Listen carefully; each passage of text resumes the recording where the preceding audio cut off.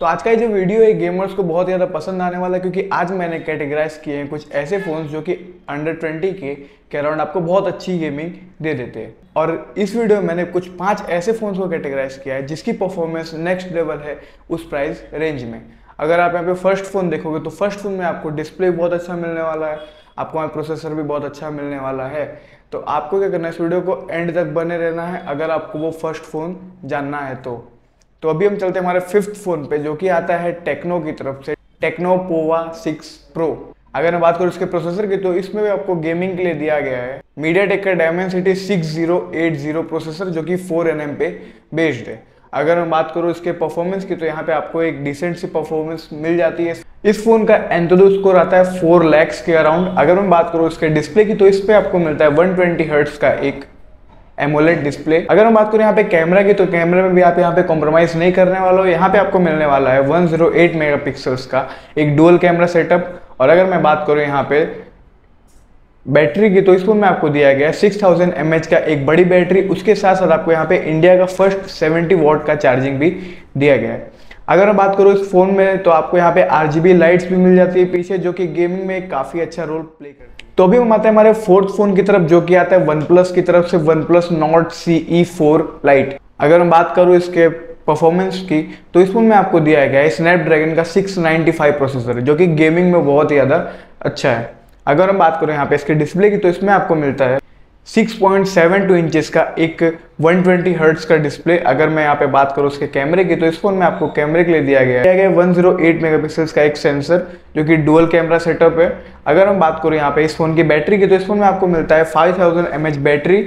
उसके साथ साथ आपको यहाँ पे मिलता है सिक्सटी वॉट का एक सुपर वुक चार्जर, जो कि इस फ़ोन को काफ़ी ज़्यादा बेटर बना देता है। अगर बात करूँ इस फ़ोन में गेमिंग के लिए तो आप गेमिंग भी अच्छे से कर सकते हो। ये फ़ोन आपको कैमरे के लिए भी काफ़ी अच्छा मिलने वाला है। तो अभी चलते हैं हमारे थर्ड फ़ोन तो थर्ड फ़ोन है हमारा आईक्यू का जेड नाइन अगर हम बात करूँ इस फ़ोन की परफॉर्मेंस की तो तो इस फ़ोन में हमें मिलता है मीडिया टेक का Dimensity seven two zero zero processor जो कि फोर एन पे बेस्ड है।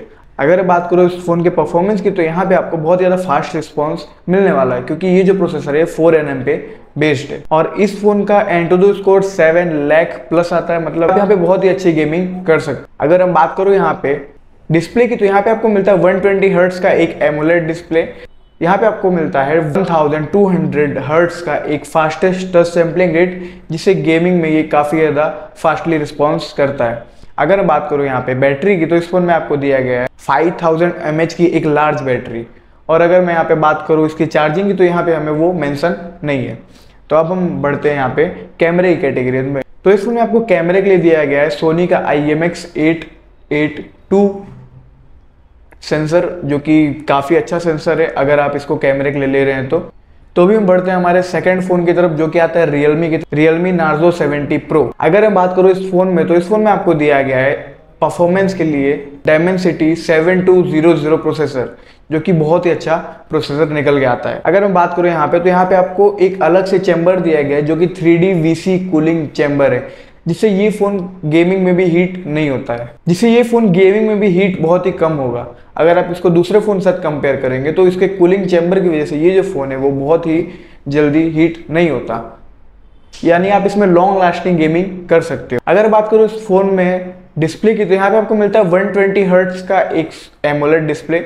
उसके साथ साथ यहाँ पे आपको मिलता है 120 ट्वेंटी का रिफ्रेश रेट, जो कि काफ़ी ज़्यादा बढ़िया और हाँ इस फ़ोन में आपको एयर जेस्टर्स का भी सपोर्ट मिलता है मतलब आप कहीं से भी अपने फ़ोन को सिर्फ़ जेस्टर्स के थ्रू कंट्रोल कर सकते हो। मतलब आपको यहाँ पे फ़ोन को टच करने की ज़रूरत नहीं है, अगर आप यहाँ पे रील्स कॉल करें तो आपको सिर्फ़ अपना फिंगर ऊपर करना है एंड आपके वीडियोस प्ले हो जाएँगे। तो अगर बात करें यहाँ पे कैमरे की तो यहाँ पे आपको दिया गया सोनी का I M X eight ninety का सेंसर जो कि काफ़ी अच्छा सेंसर है। और अगर मैं बात करूँ यहाँ पे कैमरे की स्पेसिफिकेशंस की तो ये फ़ोन ओआईएस भी सपोर्ट करता है। अगर मैं यहाँ पे बात करता हूँ बैटरी की तो यहाँ पे आपको 5000 थाउज़ेंड की एक बैटरी मिलती है। उसके साथ साथ सुपर वोक चार्जिंग भी मिलती है। मैं जानता हूँ आपको फ़र्स्ट फ़ोन का ही कब से वेट होगा तो हम तो अब हम आते हैं हमारे फ़र्स्ट फ़ोन पे, जो कि आता है पोको की तरफ़ से पोको एक्स सिक्स 5G अगर हम बात करूँ तो यहाँ पे आपको परफॉर्मेंस ले दिया गया है स्नैपड्रैगन का 7S Gen 2 जो कि काफ़ी ज़्यादा पावरफुल प्रोसेसर बन जाता है इस प्राइस सेगमेंट में।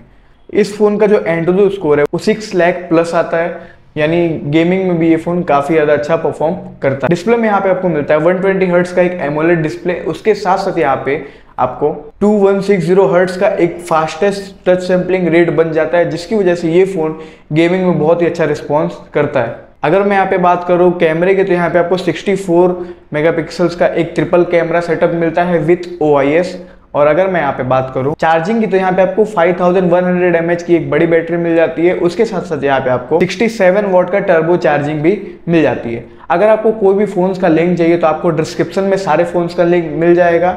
वहाँ से आप सारे फोन्स को चेकआउट कर सकते हो। मिलते हैं नेक्स्ट वीडियो में, तब तक के लिए बाय और हाँ चैनल को सब्सक्राइब करना मत भूलना।